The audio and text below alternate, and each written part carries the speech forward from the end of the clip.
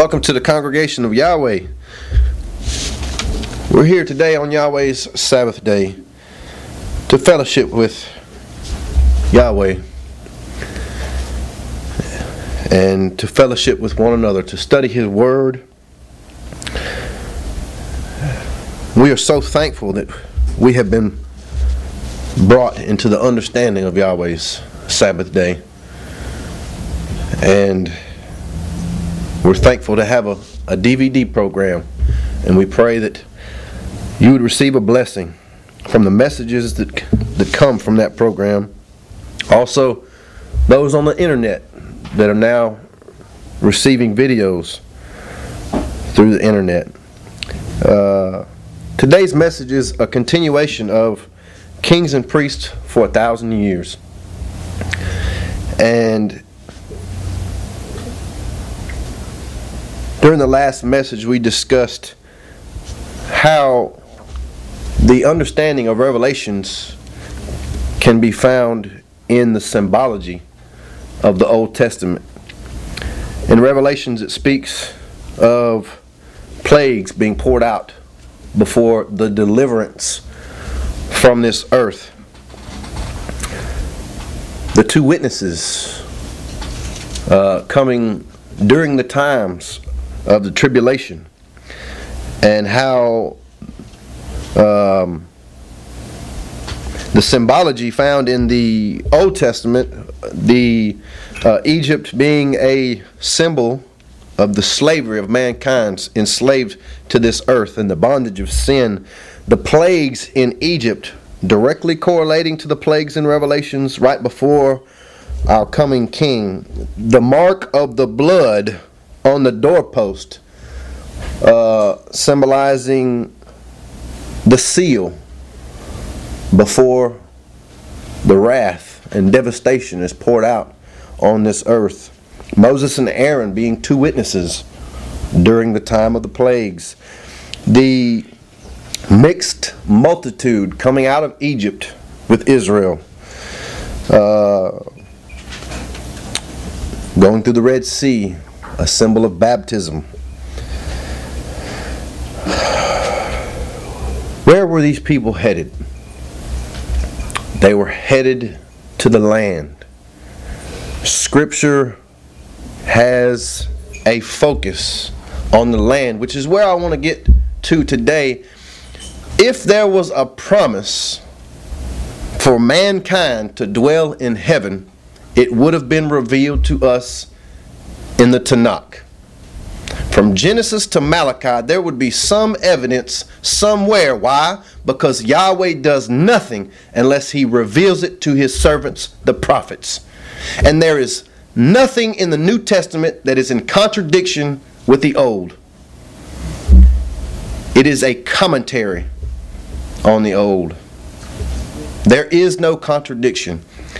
So, if there's anything in the Messianic scriptures that seems to contradict something in the old, we are missing something in the middle.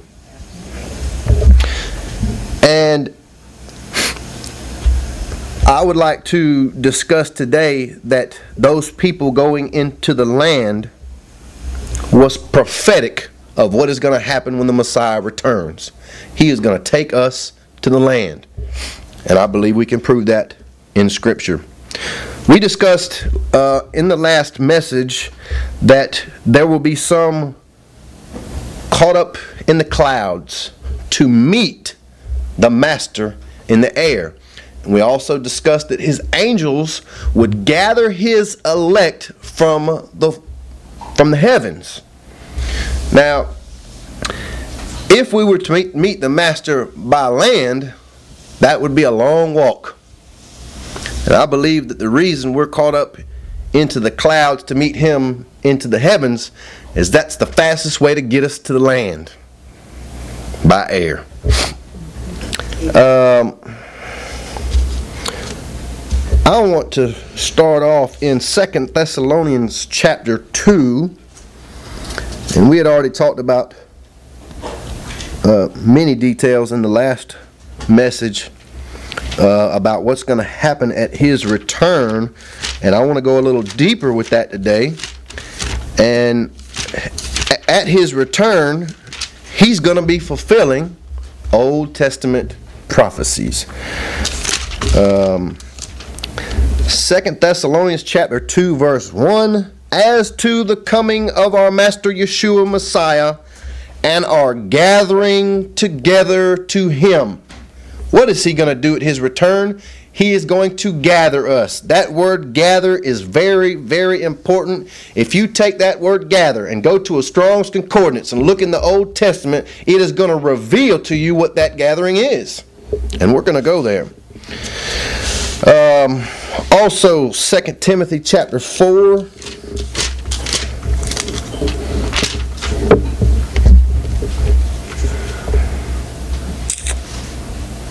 Verse 7 I have fought the good fight. I have finished the race. I have guarded the faith. For the rest, there is laid up for me the crown of righteousness, which the Master, the righteous judge, shall give to me on that day. And not to me only, but also to all those who love his appearing.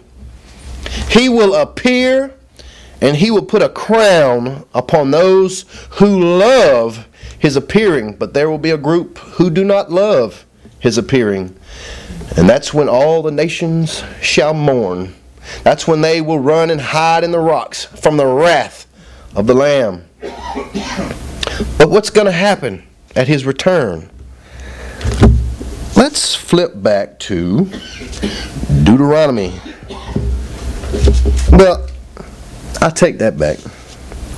First, let me go to Exodus chapter 33 to get a context of why this shall take place. Exodus chapter 33.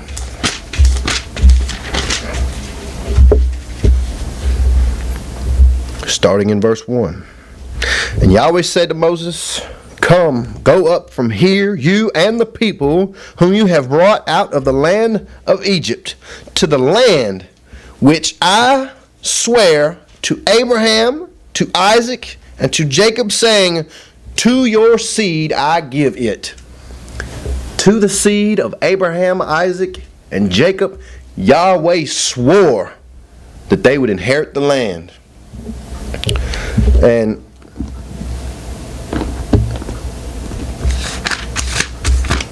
Galatians chapter 3 tells us a little more about this seed. 3 verse 26 For you are all sons of Elohim through belief in Messiah Yeshua. For as many of you as were immersed into Messiah have put on Messiah. There is not Yehudite, Jew nor Greek. There is not slave nor free. There is not male and female, for you are all one in Messiah Yeshua. And if you are of Messiah, then you are the seed of Abraham and heirs according to the promise. A promise was made to inherit the land, and we still seek that today. Deuteronomy chapter 30.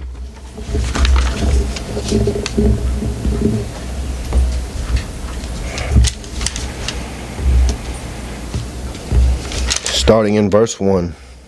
And it shall be when all these words come upon you, the blessing and the curse, which I have set before you, and you shall bring them back to your heart among all the Gentiles where Yahweh your Elohim drives you, and shall turn back to Yahweh your Elohim, and obey his voice according to all that I command you today with all your heart and with all your being, you and your children, then Yahweh your Elohim shall turn back your captivity and shall have compassion on you.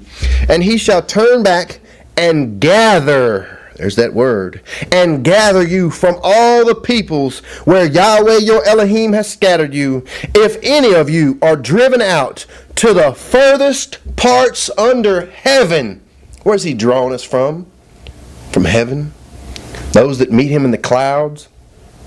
If any of you are driven out to the farthest parts under the heavens, from there Yahweh your Elohim does gather you, and from there he does take you. And Yahweh your Elohim shall bring you to the land which your fathers possessed, and you shall possess it. And he shall do good to you, and increase you more than your fathers. And Yahweh your Elohim shall circumcise your heart, and the heart of your seed, to love Yahweh your Elohim with all your heart and with all your being, so that you might live. And Yahweh your Elohim shall put all these curses on your enemies and on those who hate you and persecute you. And you shall turn back and obey the voice of Yahweh and do all his commandments which I command you today. And Yahweh your Elohim shall make you have excess in all the work of your hands, and in the fruit of the body, and in the fruit of your livestock, and in the fruit of the ground for good.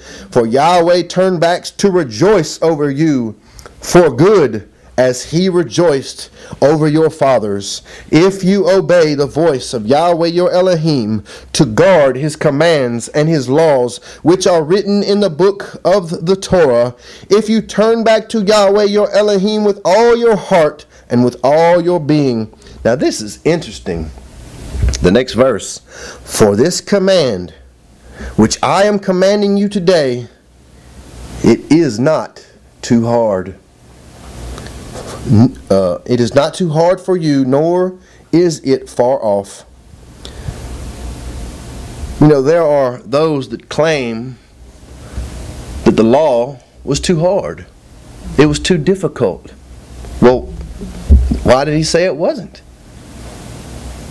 That's why in 1 John he says, His commands are not grievous. His law is not a burden. If there is any law,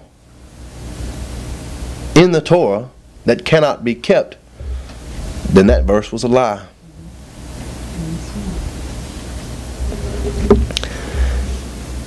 Isaiah chapter 56.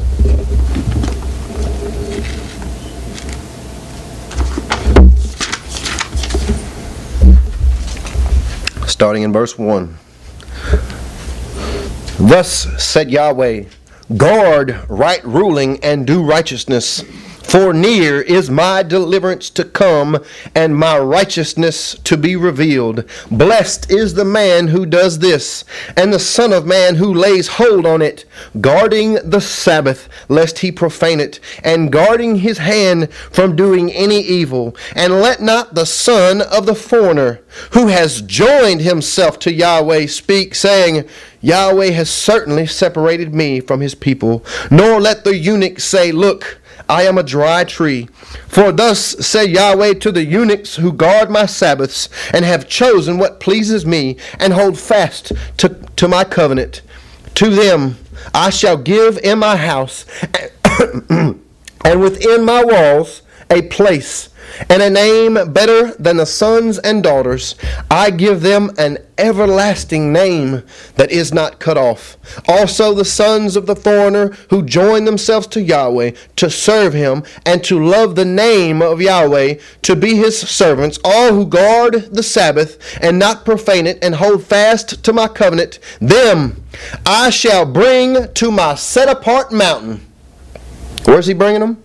To his set apart mountain, and let them rejoice in my house of prayer. The burnt offerings and the slaughterings are accepted on my altar, for my house is called a house of prayer for all peoples. The Master Yahweh, who gathers the outcast of Israel, declares, I gather still others to him besides those who are gathered to him. Jeremiah chapter 23. The main focus of this message is the gathering.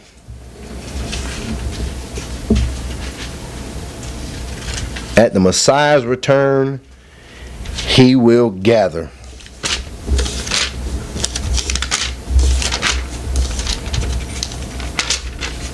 Jeremiah 23, verse 1. Woe to the shepherds, destroying and scattering the sheep of my pasture. declares Yahweh. Therefore, thus said Yahweh Elohim of Israel against the shepherds who feed my people You have scattered my flock, driven them away, and have not tended them. See, I am punishing you for the evil of your deeds, declares Yahweh. Therefore, I shall gather the remnant of my flock out of all the lands where I have driven them, and shall bring them back to their fold, and they shall bear and increase. And I shall raise up shepherds over them, and they shall feed them. What are they going to feed them with?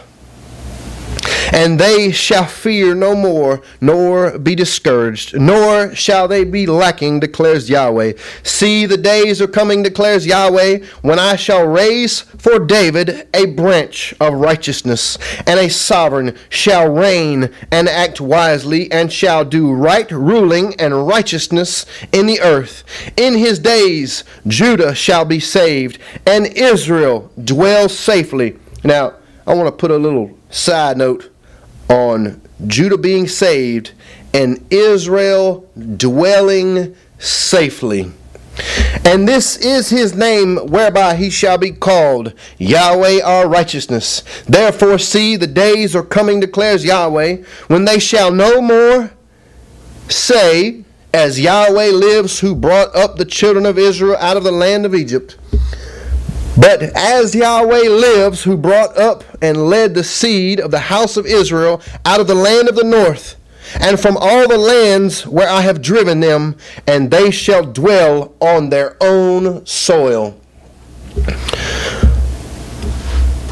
So a time will come when he will not be remembered for bringing them out of Egypt, but he will be remembered for bringing his people into the land that they were promised. Um, continuing on, my heart within me is broken because of the prophets. All my bones shake. I am like a drunken man and like a man overcome by wine because of Yahweh and because of his set apart words. For the land is filled with adulteries. For the land mourns because of a curse. The pastures of the wilderness are dried up, and their course is evil, and their might is not right. For both prophet and priest have become defiled. Even in my house I have found their evil, declares Yahweh. Therefore, their way is to them like slippery ways in the dark. They are driven on, and they shall fall in them, for I bring evil on them. The year of their punishment, declares Yahweh. And I have seen folly in the prophets of Shomron they prophesied by Baal and led my people Israel astray. And among the prophets of Jerusalem I have seen a horrible matter, committing adultery and walking in falsehood. And they strengthen the hands of the evil ones, so that no one turns back from his evil. All of them are like Sodom to me, and their inhabitants like Gomorrah. Therefore, thus said Yahweh of hosts concerning the prophets See, I am making them eat wormwood, and shall make them drink poison water, for defilement has gone out into all the land from the prophets of Jerusalem. Thus said Yahweh of hosts, Do not listen to the words of the prophets who prophesy to you. They lead you astray. They speak a vision of their own heart not from the mouth of Yahweh. They keep on saying to those who despise me, Yahweh has said, You shall have peace. And to all who walk according to the stubbornness of their own hearts, they say, No evil comes upon you.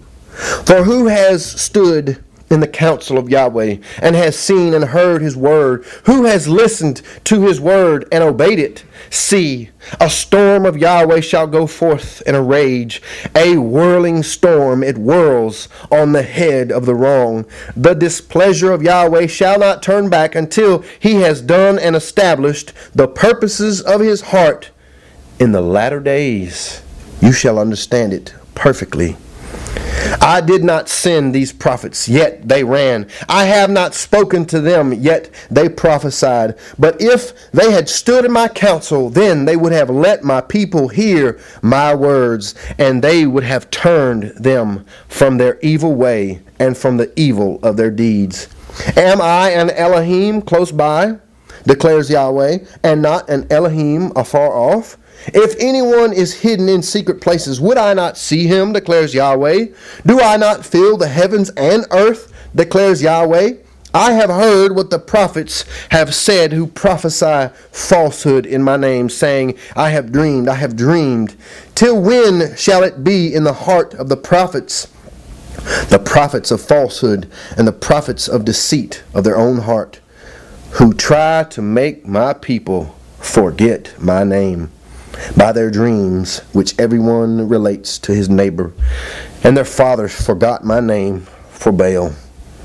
The prophet who has a dream, let him relate the dream. And he who has my word, let him speak my word in truth. What is the chaff to the wheat, declares Yahweh? Is not my word like fire, declares Yahweh, and like a hammer that shatters a rock? Therefore, see, I am against the prophets, declaring Yahweh, who steal my words, every one from his neighbor. How are the prophets of today stealing the words of Yahweh by false interpretation of it? There's more churches out there than gas stations, just about.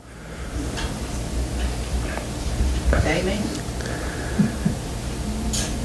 And what are they doing?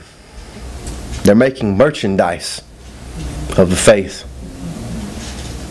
Million dollar buildings, hundred thousand dollar stained glass windows. And they don't even understand the scripture. They're, they have lost their identity. Um, excuse me one second.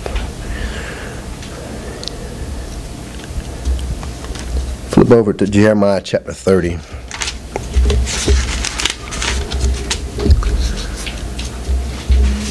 Starting in verse 1. The word that came to Jeremiah from Yahweh, saying, Thus spoke Yahweh Elohim of Israel, saying, Write in a book for yourself all the words that I have spoken to you. For look, the days are coming, declares Yahweh, when I shall turn back the captivity of my people, Israel and Judah, declares Yahweh, and I shall bring them back to the land that I gave to their fathers, and let them possess it. And these are the words Yahweh spoke concerning Israel and Judah. For this is what Yahweh said We have heard a voice of trembling, of fear, and not of peace. Ask now and see if a man is giving birth. Why do I see every man with his hands on his loins like a woman in labor, and all faces turn pale? Oh, for great is that day. There is none like it, and it is the time of Jacob's distress but he shall be saved out of it. And it shall be in that day, declares Yahweh of hosts, that I break his yoke from your neck and tear off your bonds, and foreigners no more enslave them. And they shall serve Yahweh their Elohim, and David their sovereign, whom I raise up for them. And you, do not fear, O Jacob my servant, declares Yahweh, nor be discouraged, O Israel, for look, I am saving you from afar, and your seed from the land of their captivity, and Jacob shall return and have rest.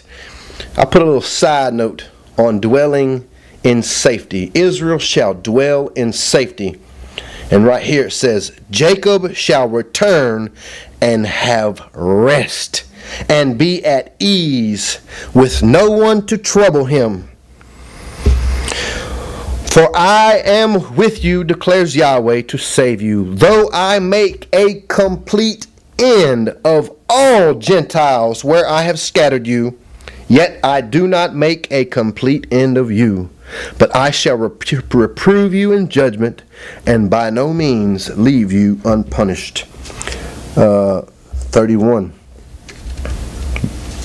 Verse 31. Uh, I'm sorry. Let me start with verse 1, chapter 31. At that time, declares Yahweh, I shall be the Elohim of all the clans of Israel, and they shall be my people. Thus said Yahweh, a people escaped from the sword found favor in the wilderness. Israel went in when it went to find rest. Yahweh appeared to me from afar, saying, I have loved you with an everlasting love, therefore I shall draw you with kindness. I am going to build you again, and you shall be re- rebuilt, O maiden of Israel, or O virgin of Israel. And you remember in Revelations when it says they are virgins? I think there might be a tie in there. Um, Again, you shall take up your tambourines and go forth in the dances of those who rejoice. Again, you shall plant vines on the mountains of Shomron. The plants shall plant and treat them as common. For there shall be a day when the watchmen cry on Mount Ephraim, Arise, and let us go up to Zion to Yahweh our Elohim. For thus said Yahweh, Sing with gladness for Jacob and shout among the chief of the nations. Cry out, give praise, and say, O Yahweh, save your people, the remnant of Israel. See, I am bringing them from the land of the north, and shall gather them from the ends of the earth. Among them the blind, the blind and the lame, those with child and those in labor together. A great assembly shall return here with weeping they shall come, and with their prayers I bring them. I shall make them walk by rivers of waters, in a straight way in which they do not stumble. For I shall be a father to Israel, and Ephraim is my firstborn. Hear the word of Yahweh, O Gentiles, and declare it in the isles afar off, and say, He who scattered Israel gathers him, and shall guard him as a shepherd his flock. What did the Messiah say about the shepherd and the flock? John chapter 10. Actually, I, I pause one second. Let me finish out here. Uh, verse 31, chapter 31, verse 31. See, the days are coming, declares Yahweh, when I shall make a new covenant with the house of Israel and with the house of Judah, not like the covenant I made with their fathers in the day when I took them by the hand to bring them out of the land of Egypt, my covenant which they broke, though I was a husband to them, declares Yahweh. For this is the covenant I shall make with the house of Israel after those, day, those days, declares Yahweh. I shall put my Torah in their inward parts and write it on their hearts hearts, and I shall be their Elohim, and they shall be my people. And no longer shall they teach each one his neighbor, and each one his brother, saying, Know Yahweh. For they shall all know me, from the least of them to the greatest, declares Yahweh. For I shall forgive their crookedness and remember their sins no more. How is it possible? That they don't have to teach anymore. It says, because every single one of them knows him. This cannot reach fruition until the completement of all things. Um, Jeremiah chapter 32.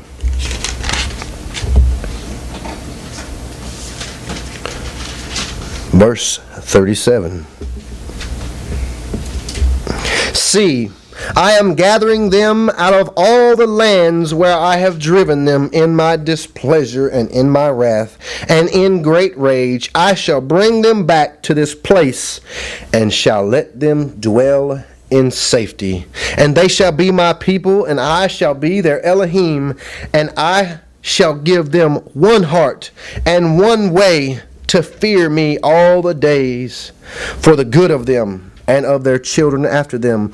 And I shall make an everlasting covenant with them, that I do not turn back from doing good to them, and I shall put my fear in their hearts, so as not to turn aside from me. And I shall rejoice over them to do good to them, and shall plant them in this land in truth, with all my heart and with all my being.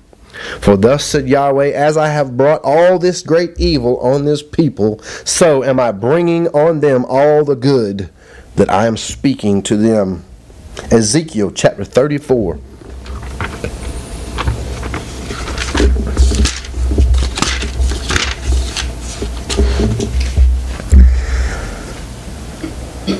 Starting in verse 1.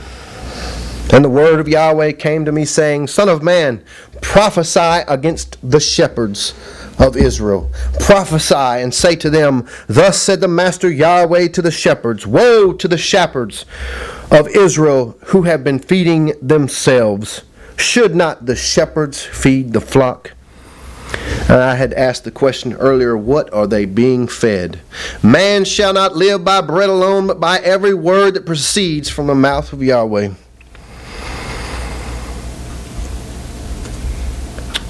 Verse 3 You eat the fat, and you put on the wool. You slaughter the fatlings. You do not need, you do not feed the flock.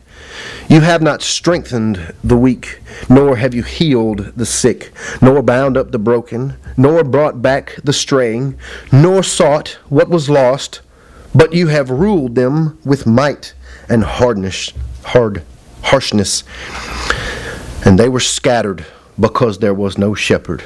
They became food for all the beasts of the field when they were scattered. My sheep wandered through all the mountains and on every high hill, and my sheep were scattered over all the face of the earth, and no one was seeking or searching for them. Our Messiah said he left the 99 to go find the one.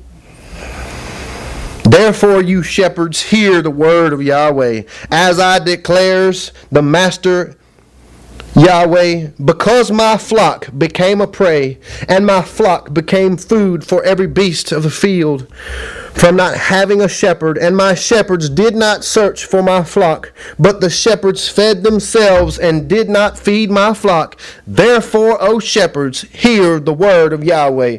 Thus said the Master Yahweh See, I am against the shepherds, and shall require my flock at their hand, and shall make them cease feeding the sheep, and the shepherds shall feed themselves no more.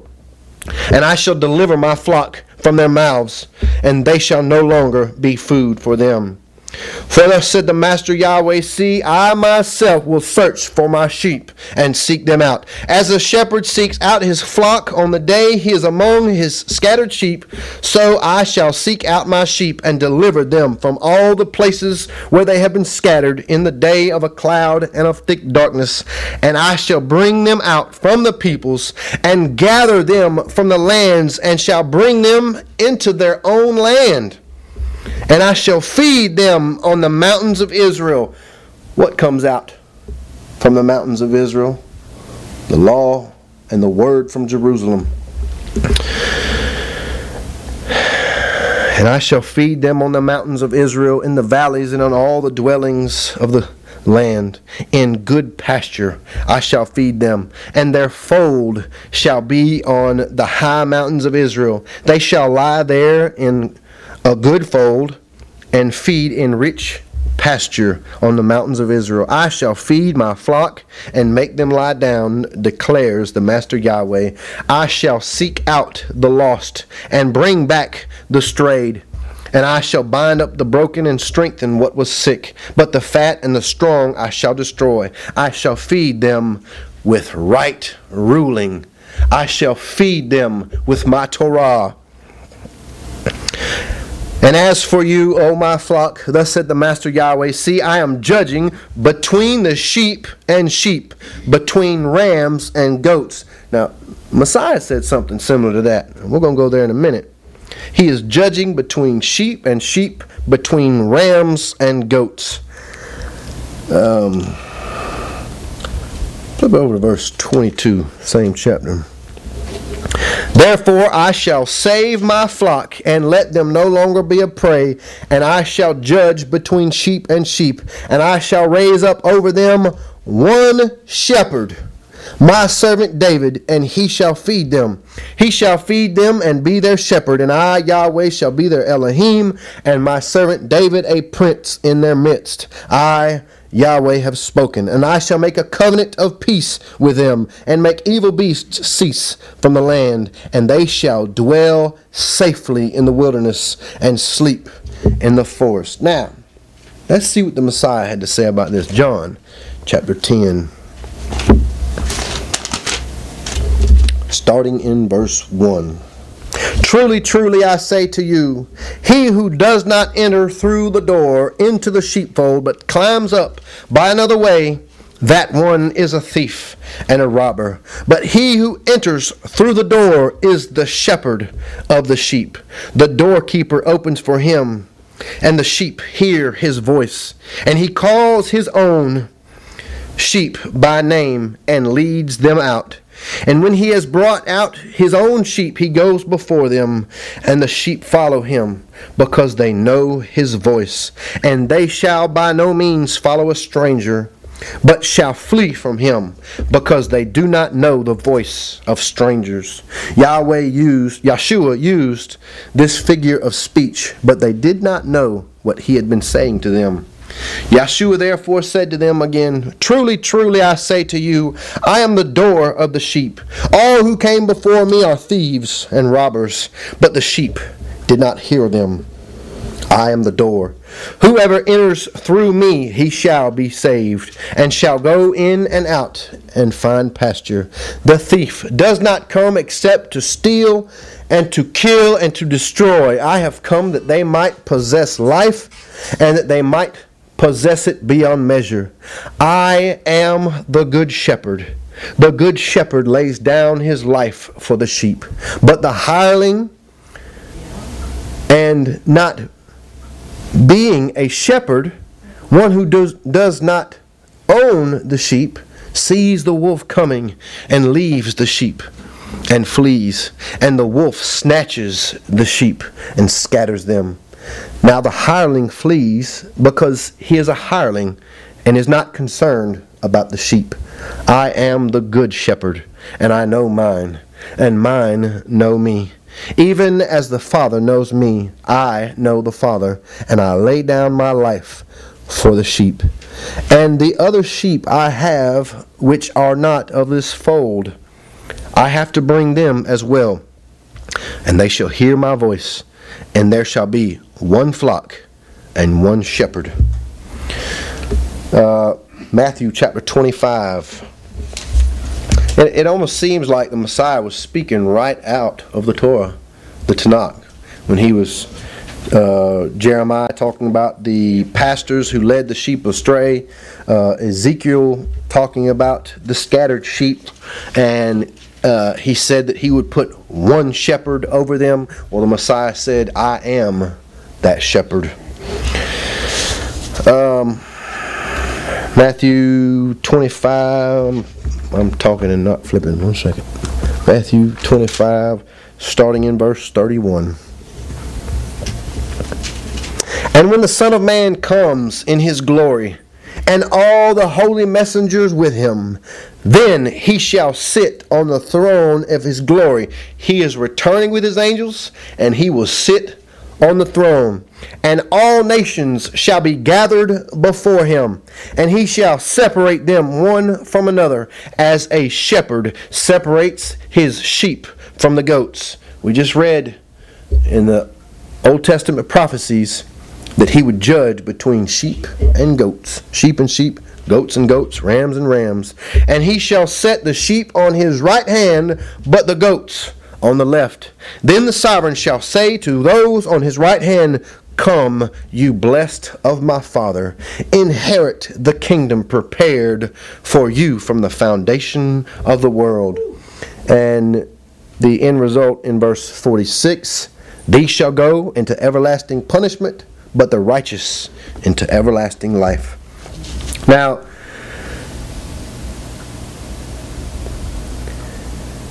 those people wandered in the wilderness for 40 years. The destination where Yahweh was trying to bring those people was the land of rest. And what did he promise them? Deuteronomy chapter 12.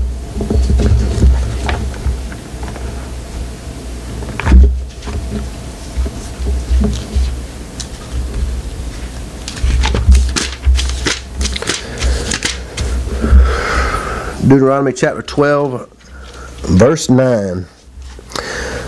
Because you have not yet entered the rest and the inheritance which Yahweh your Elohim is giving you. But you shall pass over the Jordan, and shall dwell in the land which Yahweh your Elohim is giving you to inherit, and he shall give you rest from all your enemies round about, and you shall dwell in safety. That's why I put those little notes on dwelling safely and being at rest, and that's what we're looking for today. We are waiting for the Messiah to return, to take us to the land, to give us rest from our enemies. What enemy? Revelations chapter 20. This is when we're going to get a little taste of that rest. Revelations chapter 20, verse 1. And I saw a messenger coming down from the heaven, having the key to the pit of the deep, and a great chain in his hand. And he seized the dragon, the serpent of old, who is the devil and Satan, and bound him for a thousand years. And he threw him into the pit of the deep, and shut him up, and set a seal on him, so that he should not lead the nations no more astray until the thousand years were ended. And after that, he has to be released for a little while, when that old serpent is bound for a thousand years, we'll get a, a taste of that peace. And when will permanent rest, peace, and safety come to pass? Verse 7 And when the thousand years have ended, Satan shall be released from his prison, and he shall go out to lead the nations astray, which are in the four corners of the earth, Gog and Magog, to gather them together for battle, whose number is as the sand of the sea. And they came up over the breadth of the earth, and surrounded the camp of the set apart ones in the beloved city, and fire came down from Elohim out of the heaven and consumed them. And the devil who led them astray was thrown into the lake of fire and sulfur, where the beast and the false prophet are, and they shall be tortured day and night forever and ever. One day, Satan will have no sway over humanity, no power, no authority. It will be taken. Um, so, the people were looking for a time when they would enter into the land of rest to be at peace from their enemies, a land flowing with milk and honey. Let's go to Hebrews chapter 3, and he talks about this rest.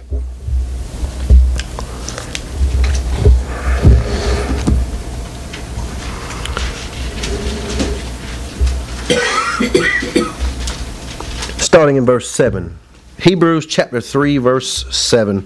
Therefore, as the set apart Spirit says, Today, if you hear his voice, do not harden your hearts as in the rebellion, in the day of trial in the wilderness, where your fathers tried me, proved me, and saw my works forty years.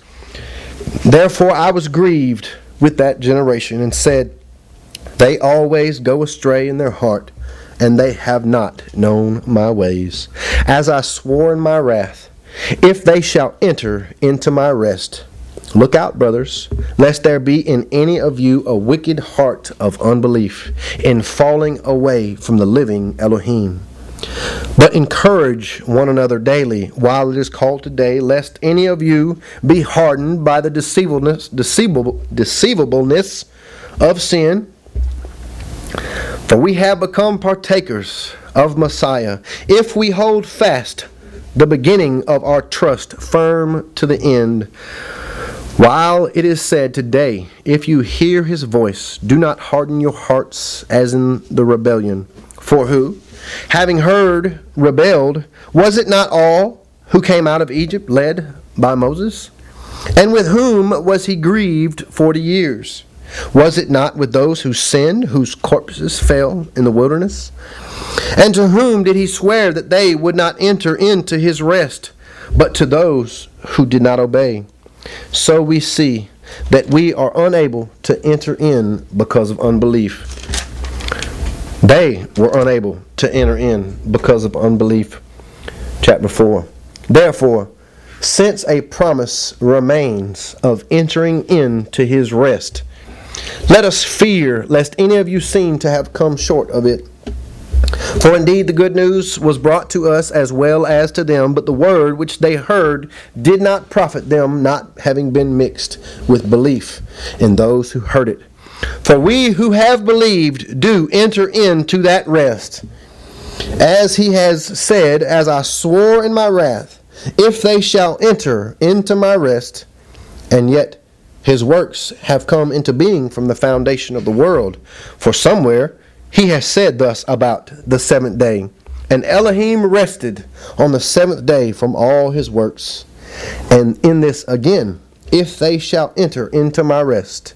Since then it remains for some to enter into it, and those who formerly received the good news did not enter in because of disobedience. He again defines a certain day, today, saying through David so much later, as it has been said, Today, if you hear his voice, do not harden your hearts. For if Joshua had given them rest, he would not have spoken of another day after that. So there remains a Sabbath keeping for the people of Elohim. For the one, having entered into his rest, has himself, himself also ceased from his works, as Elohim rested from his own. Let us therefore do our utmost to enter into that rest, lest anyone fall after the same example of disbelief. The Messiah said, Come, all you who labor, and I'm not going to paraphrase the whole thing, but he said, I will give you rest. We have a rest right now in Messiah, but there is a future when all mankind can rest from the bondage and the slavery of sin. And let us all look forward to the day when our Messiah shall return, take us to the land, and give us rest. And we shall dwell there safely. Hallelujah.